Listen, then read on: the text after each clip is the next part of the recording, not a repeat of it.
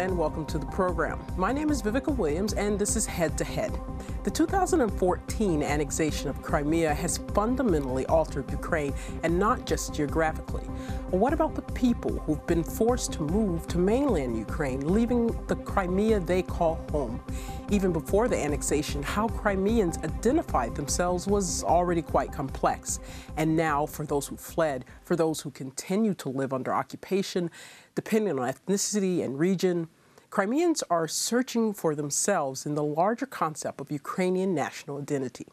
And joining us in the studio today to discuss this issue is Austin Charron, a researcher at the University of Kansas. Welcome. Thank you so much. Thank you for having me.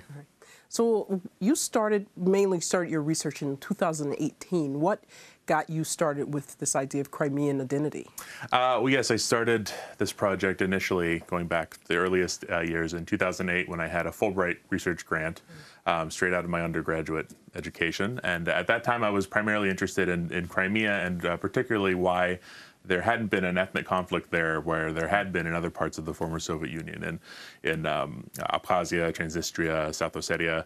And so that was my initial interest. I may have jumped the gun a little bit with that uh, assessment that there was no ethnic conflict there, It was just coming a little later, you might say.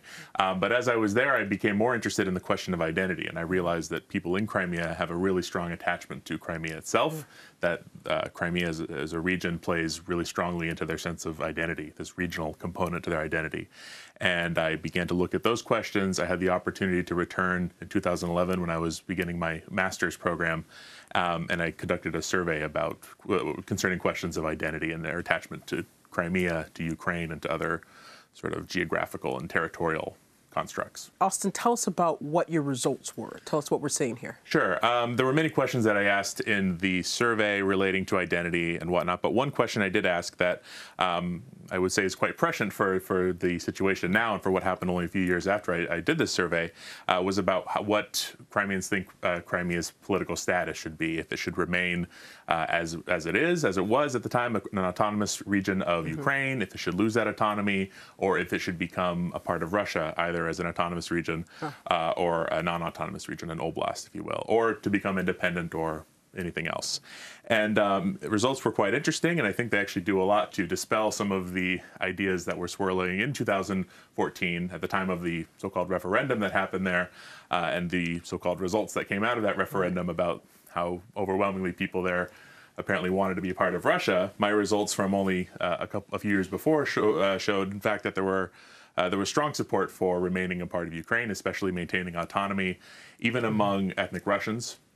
Um, there was still rather strong support among a, a, a, one segment of the, of the ethnic Russian population in Crimea to remain a part of Ukraine. So um, the situation may have changed, of course, given the Euromaidan and everything that happened in the years after my survey. But um, I think there's a lot there that really raises questions about the results of that survey of that refer referendum that was held in 2014. So it's showing what, what, what I'm seeing there is it's showing that uh, this identity idea is is very complex, but also that Crimeans are very attached to the idea of Crimea. Absolutely. So uh, and one of the interesting results from that particular aspect of the survey was that um, more so than the Russia versus Ukraine question, the question of autonomy versus non-autonomy really stood out as an important component there. And that overwhelmingly people said whether or not they're part of Ukraine or Russia, that they prefer to uh, maintain an autonomous status. And that means a lot of things. You know, it means having some sort of say locally over the policies and the politics of what's happening in Crimea. But I've also argued um, in some of the work I've done that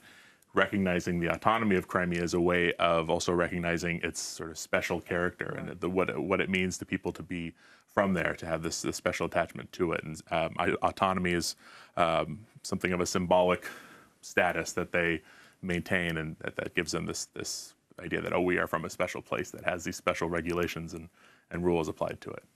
Well, then let's jump forward. Then sure. I think it's like six years, mm-hmm. or probably five years, and you came back to Ukraine to continue your research in 2015. Is mm-hmm. that correct?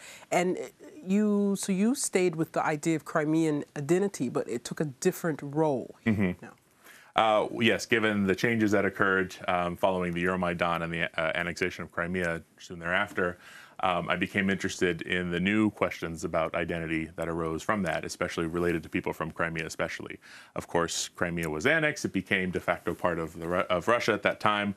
But there are many who decided to leave Crimea voluntarily uh, to come to the mainland of Ukraine um, rather than to live under Russian occupation there.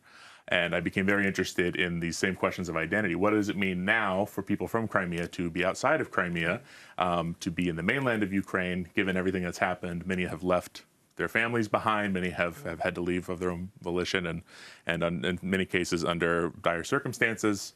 Um, and within this, my primary focus, I would say, has been on the Crimean Tatars, who right. have a very special place within Crimea, for whom Crimea is absolutely their homeland. They have no other homeland but Crimea, yeah. and the decision to leave Crimea for the home for the mainland of Ukraine is a necessarily a very difficult one for many, uh, but also a, a, necessary choice for many who who really can't continue living under the harsh repression and the, har- the harsh conditions that are happening there nowadays. And were you able to follow up with some of the same people you interviewed uh, from 2011? Have you met or been able to follow up with any of those people? There are some there some friends I had made uh, in Crimea in 2008, 2009, again in 2011. Some of my uh, closer friends have left and are now living uh, in Ukraine, both in Kiev and Lviv, the two sites where I've done my, my more recent um, research. And so it has been very interesting to to catch up with them to see how their lives have changed, how their perceptions of, of their own identity, the role of Crimea the role of Ukraine um, are now ongoing and, and changing with with the, the, circumstances that, that are now that they now face. And so that's a good question. What, what are they seeing? What are they feeling?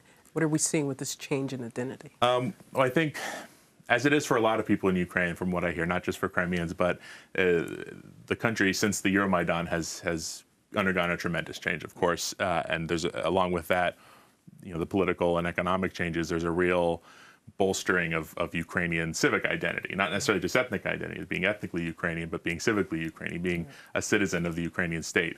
And for those people from Crimea who have chosen to leave, that's a, a very important component of their identity. The fact not only that they're Crimean, but now that they are Ukrainian too. And not just now that this is a new thing that's happening, but for many of them, it's been there all along. I think that's something that um, has been overlooked in a lot of the media that's been published about Crimea in the wake of the annexation. There's this assumption, oh, everybody there is pro-Russian. It's very ethnically Russian. A vast majority wish, you know, never really took to Ukraine, if you will. Mm-hmm. Um, but from what my research tells me and what anecdotally I see talking to so many people is that Ukraine really did mean a lot to them. Uh, and that's in large part guided their choice to leave Crimea and to maintain um, you know, their Ukrainianness by living on the mainland now. And that's certainly true of many of the friends that I've made there. Wow. And now, also know that last year you actually appeared in what I call a docudrama mm-hmm. that was done by the Ministry of Information Policy here mm-hmm. called Crimea the Resistance. Mm-hmm. So, how did that come about? Um, well, through my research and through my um, attempts to make contacts and to find people to interview, I was put in touch with uh, the deputy, um, the first deputy minister at the uh, Ministry of Information Policy, who is a Crimean Tatar, and who had been planning this this uh, docudrama that they wanted to film. They were looking for uh, somebody to sort of star as the uh, the the main role is of the American or Western researcher who is there doing research about the Crimean Tatars and about the annexation and, and everything that's that's happened since. And so after we became acquainted, she asked if I would be willing to star in this film. It sounded very interesting, so I, I happily agreed. Um, and um, I think it turned out pretty well, actually. Well, let's see. We have a uh, we have a clip from uh, an outtake from Crimea, the resistance. So it looks like this kind of mirrors your actual research and what you were really doing here.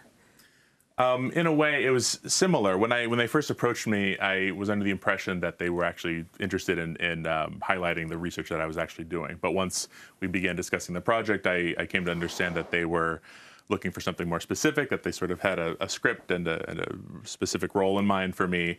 And in order to maintain some distance between the character in that film and my own research, to, so that you know it's not my name attached to the research right. being presented in the film, I, I, asked to sort of use a different name. So it's not exactly me in the film, but it's a character based in large part on me. me. Yeah. And but you did have uh, an opportunity to have what I figure is probably a remarkable conversation with one particular guy in that mm-hmm. Uh, are you speaking of Mustafa Dzhemilev? Yeah. Yeah. Um, of course, the uh, sort of de facto leader of the Crimean Tatar people, also a member of the uh, Ukrainian Verkhovna Rada. Um, he is a very remarkable figure. This was my second time getting to meet with him and interview him for this uh, docudrama. Um, he is a, I have a tremendous amount of respect for him. He's gone through a whole lot um, to you know promote the right of his people to live in their homeland and to return from their deportation from the, from 1944 and he continues to struggle and to fight for the rights of his people now in this uh, in the new context of the, the annexation of Crimea and, and what it's meant for, for the Crimean Tatars since then. Um, it was a very um, interesting moment to be there interviewing him. Actually, we happened to be there on the night uh, that Jamala first performed in the um, local uh, competition for Eurovision, ultimately to go on to perform in the national competition. When we arrived, he was very nervous and very excited to watch her perform. Uh, we had to we set up all the, the equipment for the interview, but we had to wait until after she performed before we began because she he wanted to be sure that we that we were able to watch her interview. And so you see it in the in the film itself. Actually, we, that's really us watching her perform. Um, perform the song 1944 for the very first time live. And this is a very his, unscripted moment. Yeah, and his reaction is, is very powerful, as you, as you can see.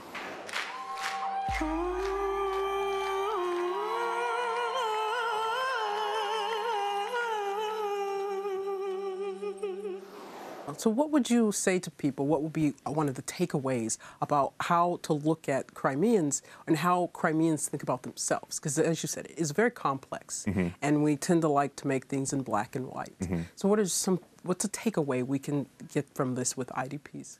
I would say that uh, the IDPs represent just one segment of the population of Crimea that I would say is ultimately pro-Russian. Still, we they're the ones who have been able to actually leave uh, Crimea for the Ukrainian mainland. There are many still uh, in Crimea who silently support Ukraine, who are not able to speak out. You know, the law has, uh, is very restrictive now.